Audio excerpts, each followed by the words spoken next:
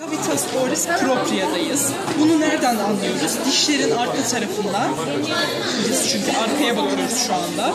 Buradan gerisi cavitas oris propria olarak uzanıyor. Burada önemli iki tane glanduladan bahsedeceğiz. Birincisi glandula submandibularis, ikincisi glandula sublingualis.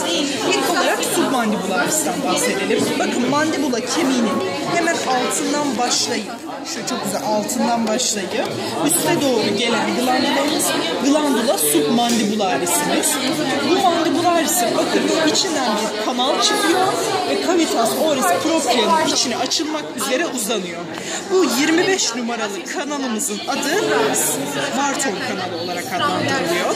Daha sonrasında şu üst tarafa dilin yerleştiğini düşünürsek dilin hemen altında olarak bulunan kanal e, glandulamızda glandula sublingualis olarak adlandırılıyor. Bu glandula sublingualisinde yukarıya doğru bakın küçük küçük küçük küçük küçük küçük çıkıntılarını görüyoruz. Kanalcıklarını görüyoruz. Bunların en büyükleri Bartolini, diğer küçük kanalları ise Rivanus kanalları olarak adlandırılıyor. E, tükürük şimdi biz üç tane glanduladan bahsediyoruz. Glandula parotis, glandula submandibularis, glandula sublingualis. E, ve bu üç kanal tükürük içeriği yapıyorlar. Bu tükürük içeriğinin en fazlasını yani en fazla ağızdaki salgıyı glandula submandibularis'in yaptığını söyleyebiliyoruz. Burada bir de dişlerimizden bahsedelim. Bu yetişkin bir insanın dişleri. Nereden anlıyoruz? Çünkü ağzın alt tabanının yarısında yani 8'lik 1 bölü 4 bölümünde e, kaç tane? 8 tane dişimiz var.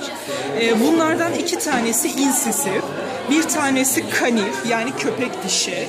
İnsisivler kesici dişler, kanif köpek dişi. İki tane premolarlar, premolar dişler.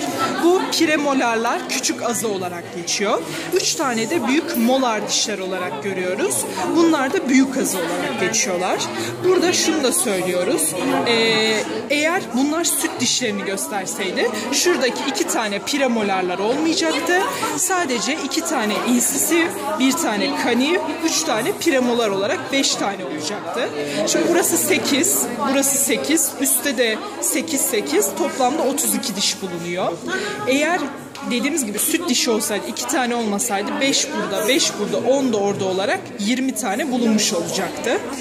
Ee, burada bir şey daha söyleyecektim. Ha, kodlamayı da şu şekilde yapıyoruz. Yetişkinler için yani 8 parçalık bölüm için 2 1 2 3 yapıyoruz.